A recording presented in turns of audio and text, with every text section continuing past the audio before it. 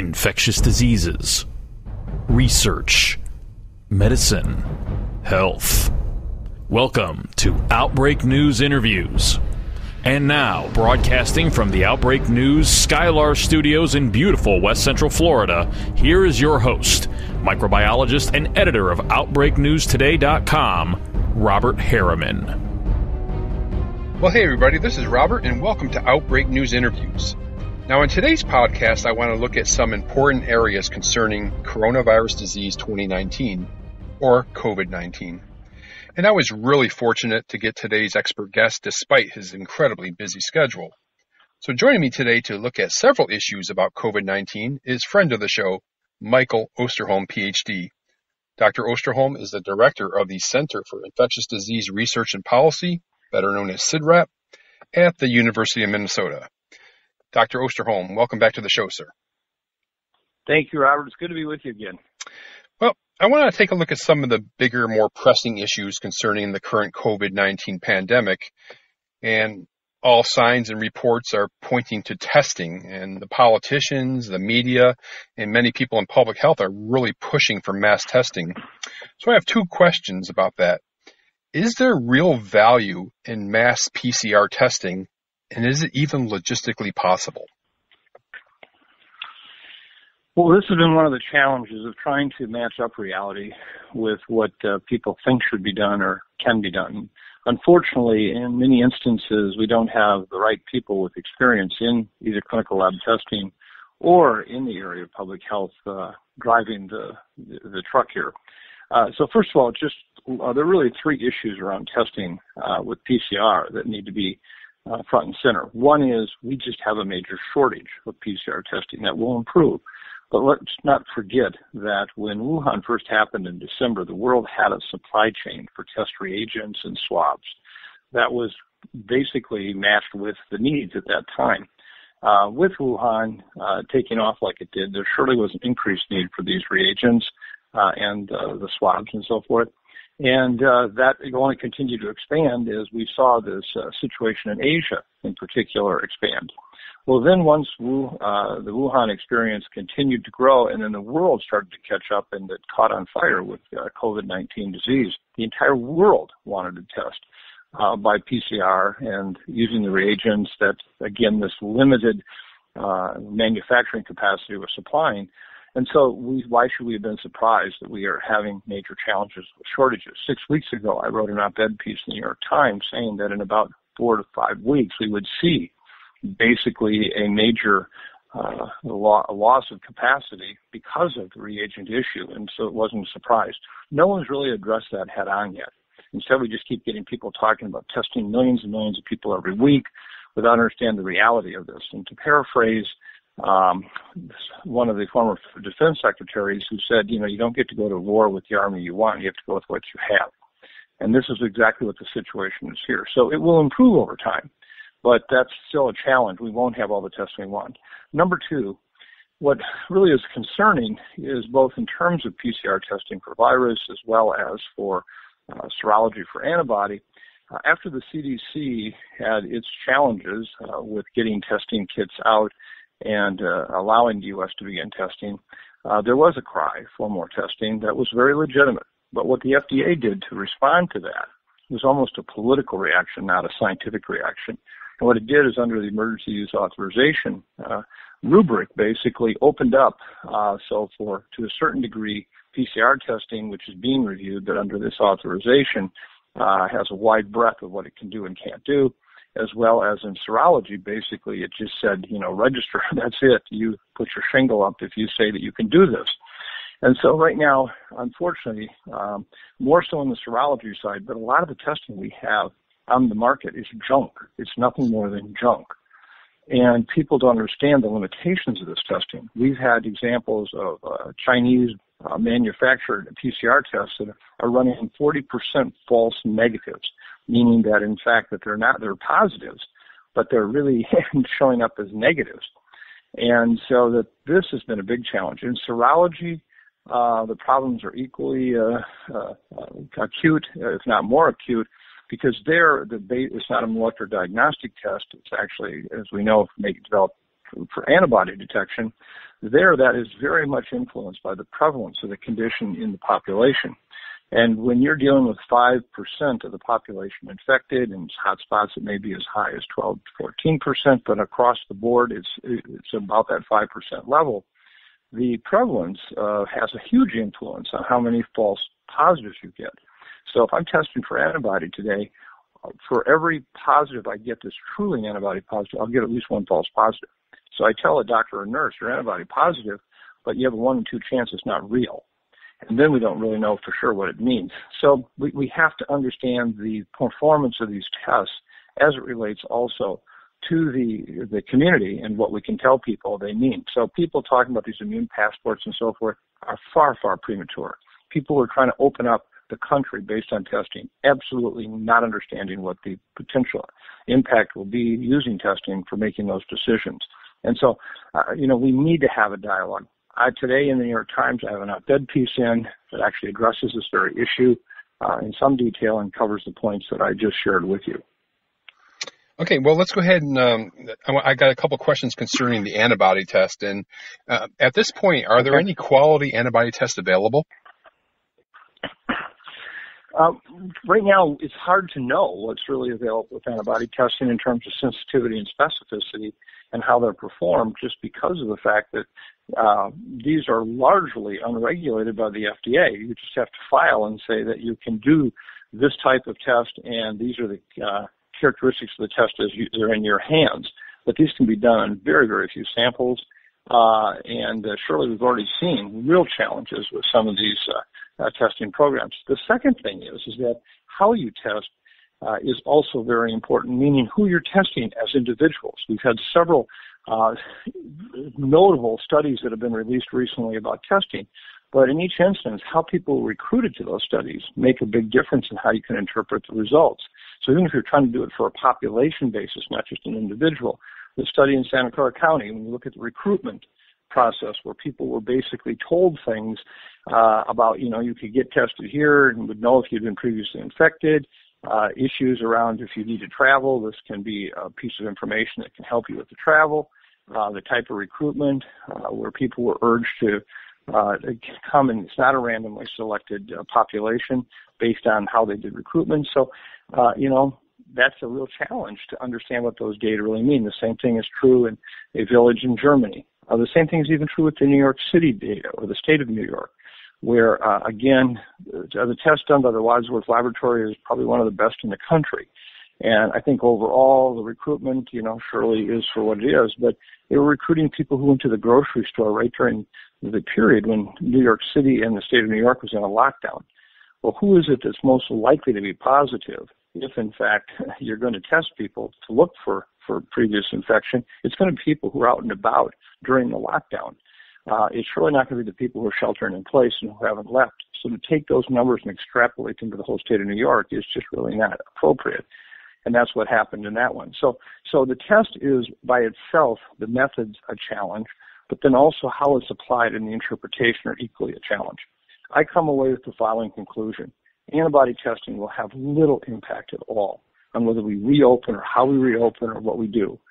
Uh, it will also be of very limited value right now in terms of making any other, uh, what I would call political decisions about where to go with next steps.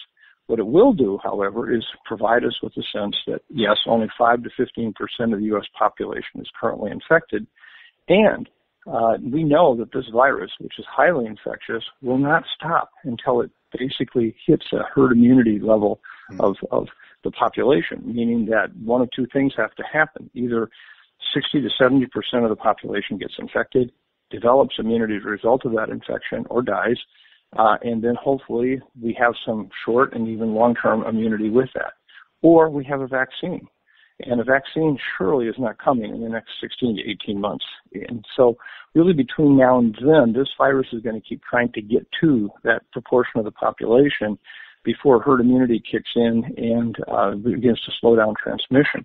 We're a long ways from 5 to 15 percent of the population currently infected to 60 to 70 percent.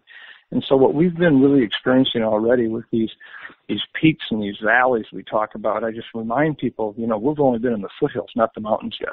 And uh, we have mountains yet to climb with this uh, virus. Well, despite what you just said, um, a lot of people want to make big decisions based on the antibody test. And um, since we truly don't know whether infection confers short or long term immunity with this particular virus, what does a positive IgG mean concerning actual immunity?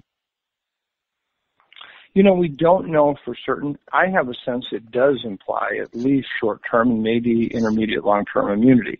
We have some animal challenge data using uh, macaque monkeys that surely support that uh, they were protected against reinfection when re-challenged some a period after they had originally been infected. Um, we also see some data right now with vaccines. At least two different studies in China and one in the United States have demonstrated that the early vaccine work using animal models uh, on re-challenge or challenge for the first time, I should say, after having been vaccinated, that they're protected. So I do think that, that the possibility for immunity is there, but having understood the challenges with SARS and MERS and some of the work that the coronavirus sector has been doing for, you know, the last 20 years, um, this, there surely still are questions about just how durable immunity might be, how, how well it might work, uh, and we have to answer those. I think the second thing that we have before us is the challenge on safety. Uh, you know, there's a concern, and it's been expressed by a number of people that this antibody-dependent enhancement (ADE) or the condition of where antibody uh, is in is at, uh, induced at a certain level, but not sufficient enough to protect you against actual reinfection, that can actually then cause this immunologic cascade to occur. And exactly what we saw happening with the dengue vaccine several years ago in the Philippines and places like that, where it was eventually withdrawn because kids were in, the, in fact uh, suffering severe disease, having been previously vaccinated and then getting infected. So uh, we've got some questions and challenges yet, but I mean we're all very hopeful the vaccine will be there. I realize hope is not a strategy, but in fact it's uh, it's what we're counting on right now, and and our job is to try to keep infections as low as possible until that time where we can be rescued by the vaccine and not uh, hit over the head by the virus. Um, and so that's what's going to be really our, our needed goal to, to look at. Yeah. Uh, let's go ahead and switch gears to the death toll in the U.S. or globally. Uh, about 60,000 deaths reported here, about 200,000 worldwide. Dr. Osterholm, how are they getting these numbers? Um, how can you determine if COVID-19 was the actual cause of death without an autopsy? Well, first of all, I think it's really clear that, uh, you know, something walks like a duck, quacks like a duck and looks like a duck is probably a duck. And I don't mean to make light of uh, the very serious question you just asked, but when you look at the mortality data, that it does not matter which country you're talking about where you've had hotspots with this virus. It is unlike anything we've seen in, in modern history. I mean, just think of the fact that in early March, this virus was not even, or the death due to this virus was not even the top 75 causes of death. And just over the past few weeks, it's been the number one cause of death in this country by day. Um, that's remarkable. So there, right now, that's just knowing that people have died. Uh, as you've been seeing in other reports uh, from some of the uh, newspapers that have been supporting studies looking at actual mortality, mortality is far, far higher right now in cities like New York, elsewhere, beyond that that even can even come closely to being ascribed as having been diagnosed with coronavirus 19, you know, the COVID-19 infection. So uh, I think that two things are happening. One, we're still missing deaths in a big way that are associated with this infection. I grant you comorbidities play a role, and the question well, has been age old uh, for other diseases like influenza. When is the death due to the virus? When is the death due to the underlying condition? That's a very fair and important uh, assessment. But somebody who has uh, an underlying heart condition, but then ends up dying from a pneumonia or an ARDS type picture, acute respiratory distress syndrome picture, that's not because of their heart problem. Um, that's actually due to the virus. So I think we can, as we have historically with influenza, uh, partition out which deaths are due to which. I think the bigger challenge is knowing when a death occurred that is in a sense COVID-19 related, but not due to the virus, but rather due to the inability to access health care or a fear of going into healthcare. How many people in uh, some of the hotspots have died from heart attacks uh, where they had early signs and symptoms? They could have and should have gone into the emergency room. Something may have been done to salvage them, but instead they waited because their fear of going to the hospital they would contract uh, this infection while there. And so we still have a lot of work to do to really understand this, but there is no doubt anybody who has been in an intensive care unit anywhere in the world in the last three to five months will tell you uh, what this virus can do is simply, simply stunningly horrible. Okay. Well, uh, retrospectively, this is an opinion question. Um, when we finally determine exposure for all these asymptomatic and mildly symptomatic patients, do you think that we'll see the overall death rate plummet to maybe flu-like levels? Well, first of all, this is not flu. People have to understand that. I mean, when's the last time, dating back to 1918, you've seen what this has done to emergency rooms and intensive care units? I mean, you know, you don't you don't have to even look at numbers. You can look at what it's done, and that by itself says this is not flu. And you know, I think this this debate about the case fatality rate misses a huge point. One, we're just getting started. If this is bad relative to a flu year, remember we're only at five to fifteen percent of the population has yet experienced this, and it's just unfolding. The difference between the flu season of several months is here we may have the next twenty months of highly active, very damaging, catastrophic potential uh, virus activity. So I think that that's what people are missing right now. That when this is all said and done, this will be written up much like 1918. Uh, you know, we we studied this as a as a modern day population. 1918 seems like so remote, so far back. Our great grandkids will be studying about the coronavirus uh, pandemic of 2020, 21, 22. And I think that that's the message that people need to understand. That uh, this debate about case fatality rate, I think, first of all, is, is horrible. And second of all, let me just say, I think in a lot of the populations um, where we have data supporting that, uh, you know, there's a lot of mild or asymptomatic infections. If it's done in serology, I just don't believe it because I think that we have so many challenges that. Even if you do it in PCR, the dynamic means of transmission and what happens in a outbreak setting really means you have to follow this for some time to understand what, what is happening. Case in point, look at the Diamond Princess. When they did their first sampling in the Diamond Princess, 50% of the people were asymptomatically infected with this virus. Everybody said, wow, that's a big chunk. They followed the people for 10 days more. That number dropped to 13%, meaning that in the time period from the sample until the next 10 days, that many more people became ill with the virus. And so one of the challenges we've had is understanding that a sample is a sample is a sample, but follow it over time to understand what is the proportion of individuals who then become symptomatic. I don't see this huge, huge bolus of people out there who are, are asymptomatic and, and not being picked up. I think that there are surely asymptomatic individuals, but it's not, you know, 40 to 50 times the number that some people purported. Second of all, when we talk about asymptomatic, we have to remember we're talking about really two things. Asymptomatic, meaning you never have a symptom, or pre-symptomatic, which today we realize can be a very major time for transmission of the virus. And there we're talking about potentially days, three, four days, of where someone may be highly infectious, not at all clinically ill, but then does become clinically ill. And that's, I think, the real challenge we have. Mm. Interesting. Um, and let me go ahead and close with this question, um, and I'm sure you have a okay. great great answer for this. how would you grade how the U.S. is dealing with this on all levels, federal, state, local, even private? Uh, what's been good and what needs improvement? Yeah. Well, there are many issues that we are aware of that um, we surely can do much better with in this country.